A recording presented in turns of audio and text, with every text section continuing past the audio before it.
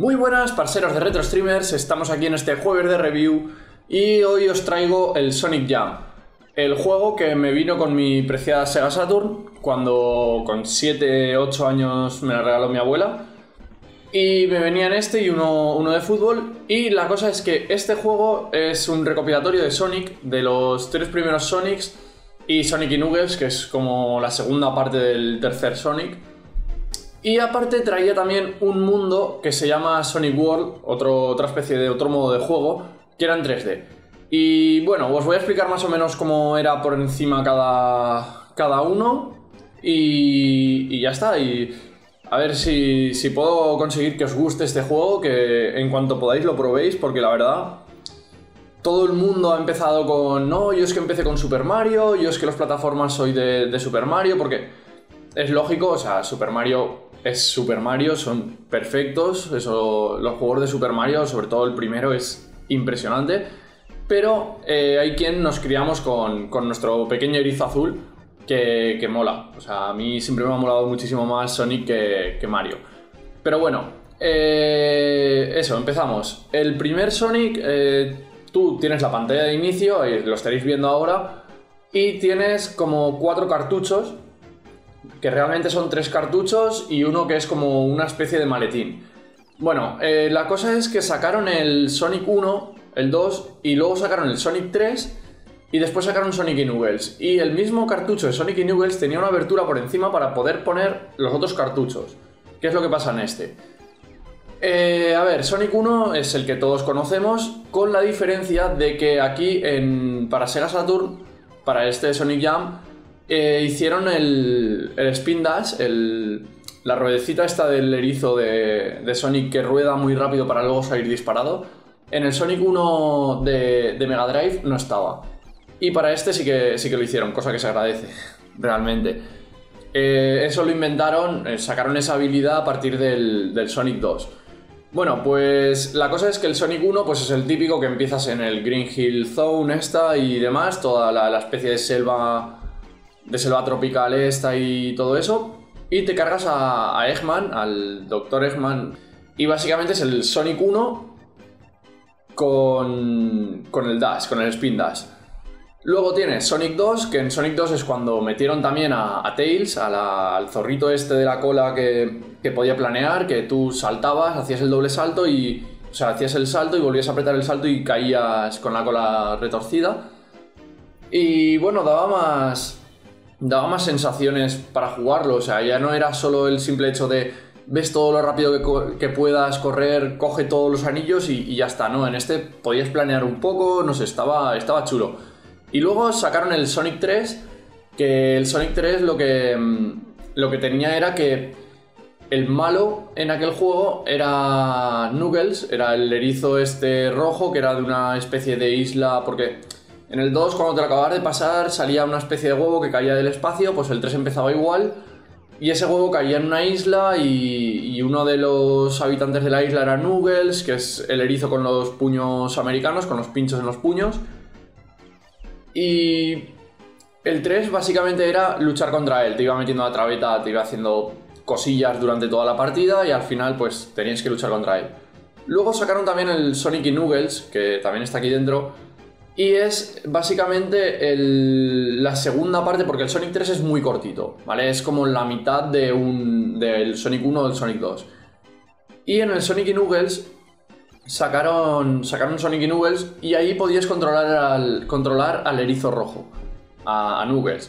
Personaje que ya tengo que decir, siempre me he cogido, siempre que he podido me he cogido, porque, no sé, siempre era el que más me molaba de pequeño. El, hecho de poder tirarte y, clavarte en las paredes y más con los puños estaba muy, muy chulo. Lo que tiene de especial este, este recopilatorio no es un recopilatorio al uso de vamos a sacar todos los juegos que hay hasta ahora y, y los metemos todos en un DVD o en un CD y que tiren para adelante. No. Este era más bien en plan de.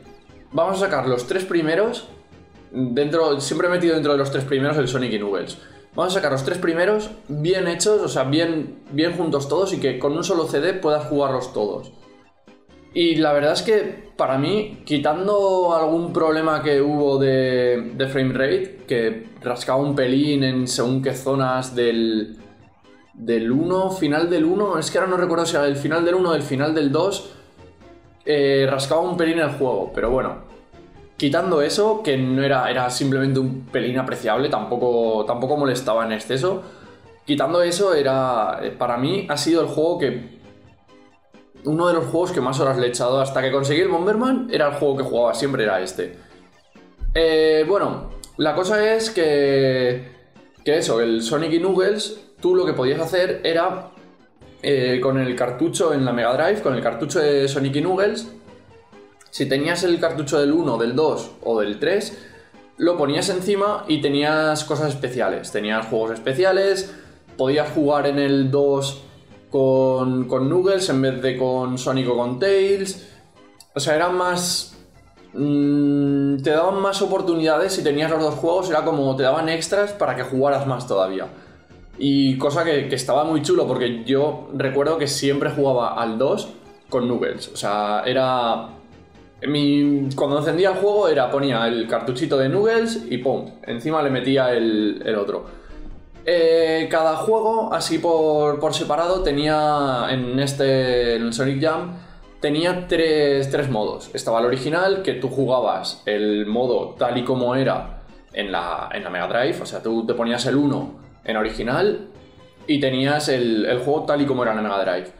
El normal, que el normal era en plan para hacerlo un pelín más sencillo, que te metían más anillas, eh, te metían más anillas, te quitaban según qué zonas chungas, te las remodelaban o te las quitaban y tal. Y entonces hacía un, un pelín más sencillo. Y luego el fácil, que tengo que decir que nunca lo he jugado y he tenido que buscar para ver qué era exactamente lo que hacía el fácil, porque era como si el normal está bien y el original también, que jugaba los dos y estaban bien, ¿por qué ponerlo en fácil? Bueno, pues el fácil se ve que lo que te hace es cortarte según qué zonas y no dejarlas, o sea, no te saltas de determinadas zonas que son chungas y así te hace muchísimo más sencillo el juego y es si por ejemplo eres un manco en las plataformas, más manco que yo, que ya es difícil en las plataformas, pues tú lo, ponías y, y, te lo podías pasar más sencillo y no sé, o sea, es una manera de que todo el mundo se pueda pasar el juego. Eh, luego, después de todo esto, tenías el, Sonic World. El Sonic World era una especie de, anuncio andante de, de Sonic, que básicamente tú llevabas a Sonic, era un mundo totalmente 3D, Creo que luego los sacaron para, para algún Sonic, cogieron los modelados de este, pero no recuerdo ahora exactamente para qué Sonic. Y bueno, básicamente tú ibas andando por, por, una especie de mundo, que era así como había como una cascada, como un riachuelo, eh, había un par de salones o tres, había lo típico, pues estaban los pajarillos, estaba Tails del el zorro del 2 dando vueltas alrededor y te podías colgar de él. Y básicamente los minijuegos que había aquí eran de tiempo, eran cronometrados, eran contrarrelojes de estas de paso por encima de una placa y recorro todo cogiendo a lo mejor 100 monedas, o sea, 100 anillas, perdón, y volví al mismo sitio en X tiempo. O pasaba, tocaba una, una farola de estas, un piruli de estos, los de Safe State, los de guardar partida de, de Sonic que se guardaba siempre en los pirulos estos, que es como una especie de farola con una bola azul o roja arriba, ahora no recuerdo, creo que era roja y cuando pasaba se volvía azul o, al revés. Eh, pues pasabas por una de esas y tenías que ir tocando, no sé eran 5 o 10 farolas más de esas y volver al mismo sitio. O sea, eran todo contrarrelojes así en plan... para... para recorrerte el mundo, básicamente. Era una excusa simplemente para enseñarte todo lo que tenía Sonic. Porque tú te metías en una especie de teatro y allí tenías eh, concept arts de estos, eh, dibujos de, Sonic, de los bocetos de los primeros Sonics, bocetos de cosas que podían salir en el futuro, no sé, estaba chulo. Tenías también otra zona que tenías todas las músicas de todos los juegos allí, te las podías poner para escucharlas todas como, pues eso, la banda sonora directamente allí. Tenías anuncios de, Sonic que había... Mm, que había de, de, pues eso, de televisión y demás que que en algún momento podían haber. Podrían haber hecho sacado por televisión y demás. Y bueno, básicamente Sonic World era esto, era pues eso, era la cascada y demás, tenía las palmeras, era muy parecido a la Green, a la Green Hill Zone esta de del Sonic 1, que es la típica que en todas las demostraciones y demás te salía. Era el típico fondo verde con, con las montañitas y los peces que saltaban en el agua y demás. Bueno, la especie de pirañas aquellas. Eh, no sé, eh, estaba bastante guay. O sea, en general me parece un, me parece un juego, un, un recopilatorio de, Sonic bastante bien hecho.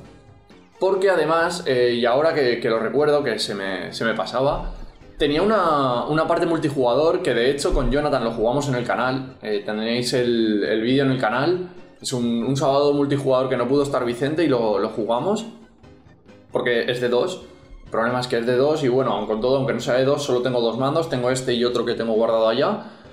Y, no, no, tengo multitab ni cosas de estas para la Sega, entonces solo se puede jugar de dos en dos y aprovechamos entonces. La cosa es que el multijugador es un tanto especial. Porque, a ver, tú tienes el multijugador del 2, que puede ser, eh, puede ser no, es eh, un rollo cooperativo, uno lleva Sonic, el otro lleva Tails, o si pones el cartucho de Nuggles, puedes llevar a Nuggles también uno de los dos. Y vas a la vez, en la misma pantalla vas a la vez, pasándote la pantalla, uno ayuda al otro y demás. Luego tienes el Sonic 3, que el multijugador, que es el que jugamos nosotros, es de carreras y es básicamente eso, es la, una, especie de pantalla más cortita de lo que es con la misma temática, o sea, está la Green Hill, está, mm, están las minas, está la del jackpot, o sea, hay la que es así una especie de casino. Hay varias zonas y, es eso, es, son X vueltas, son 3, 5, 7 vueltas, ahora creo que la hacíamos a 3, pero creo que también se pueden poner más. Y básicamente es eso, vas dando vueltas, vas dando vueltas y, y gana el que primero llegue. Una carrera de toda la vida que, está bastante. Está bastante guay para pasar el rato. Es bastante competitivo, porque además, como al ser tan cortas, ves pasar al otro, como te doble lo que sea enseguida, te ves pasar al otro, te cabreas, está bastante chulo. Os, recomiendo que veáis el vídeo que, grabamos porque quedó bastante guay. Y luego tenías el Sonic Sphere, o Blue, Sphere, perdón, que es como la, esfera azul. Eh, en este era un juego un tanto extraño. O sea, os pondré alguna imagen para que lo veáis ahora, seguramente lo estaréis viendo ya. Eh, básicamente en este tenías... Llevabas a Sonic o a, o a Nuggles. Y puede que a Tails. no lo tengo tan claro Tails, no, no recuerdo tan bien, pero bueno. Básicamente es como una especie de mundo redondo que va girando mientras tú vas andando. Tú no puedes frenar a Sonic y siempre va andando para adelante. Entonces es como una especie de cuadrícula y te vas moviendo por las líneas de esa cuadrícula. Tienes que ir cogiendo todas las bolas azules y convertirlas en rojas. O sea, tocas las azules y se convierten en rojas. En el momento que las tocas en rojo, palmas, pierdes la partida. Eh, tienes una especie de, mm, de bolitas como las de los pinballs y demás que rebotas cuando, cuando la tocas. Y tienes que coger, que cambiar todas las bolas azules a rojas y coger todas las anillas. Eh, hay como, creo que es un, no sé, casi un millón de, pantallas distintas, algo así. Y te van saliendo aleatorias y si no, puedes poner tú la, pantalla que quieras. La verdad es que para pasar el rato mm, no estaba mal. Tengo que decir que lo he jugado poco porque era muy malo y siempre me acababan matando según qué pantalla era. Entonces tú te pasabas una pantalla y te saltaba otra aleatoriamente y era, eran siempre el mismo tipo de pantalla de, de las bolas y ir andando por encima, con la música de Sonic de fondo.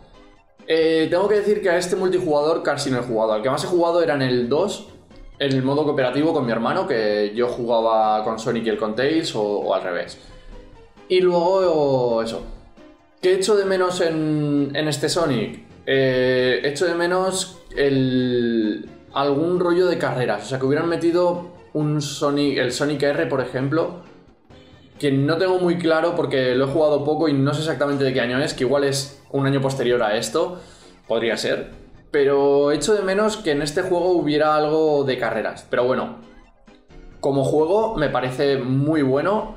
Tienes los tres, los tres primeros y Sonic Knuckles, que es la segunda parte del, del tercero. Y la verdad es que yo si lo pudiera... Si lo pudierais coger, si lo pudierais tener, lo pudierais conseguir, eh, os lo recomiendo fuertemente porque es uno de, no sé, para mí es uno de los juegos de mi infancia. O sea, la gente, como podéis ver en el, en el multijugador, estamos jugando al Crash Racing, pues la gente tenía los Crash, tenía la Play 1, tenía mis amigos, todos tenían pues eso, Crash, tenían, eh, no sé, el Motor Racer, bueno, todos los juegos de, Play 1, ¿vale? El, este que era un- una lagartija, que no, no recuerdo el nombre, yo tenía Sega Saturn y yo las horas se las echaba a este. O sea, hasta que me llegó el Bomberman, yo las horas se las echaba a este. Eh, bueno, he dicho que, que echo de menos algún juego de carreras. Sí, es verdad que el multijugador tiene, tiene carreras en el Sonic 2, pero no carreras al uso. O sea, son carreras más como si te pasaras rápido una zona. Entonces no, no es lo mismo que una carrera en plan, pues eso, Crash Team Racing, eh, Super Mario Kart, algo así. O sea, como el Sonic R. Pero bueno, en general es un juego que, que os recomiendo y que, que espero que, que si algún día lo probáis, eh, os cojáis a Nubels, porque es el mejor. O sea, para mí es el mejor, me mojo, me mojo mucho, porque para mí Nubels es el. Así como todo el mundo, no sé, es lo lógico, le tienes cariño a Sonic, que es el más. Nubel será como el tío guay y, y molaba mucho, a mí me encantaba. Y nada, eso ha sido todo, ya sabéis, más reviews la semana que viene, suscribiros al canal para más series, reviews, hacks, multijugadores, retrogramas los domingos, que son para mí mi sección favorita. Y nada, un abrazo, esto ha sido todo por hoy. Like, favoritos, un comentario, sed felices y que el reto os acompañe.